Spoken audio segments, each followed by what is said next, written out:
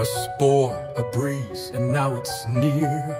It finds an ant and steers with fear. It whispers, climb, and so it does until it grips and bursts because it blooms from brain, a twisted bloom, and turns the ant into a tomb.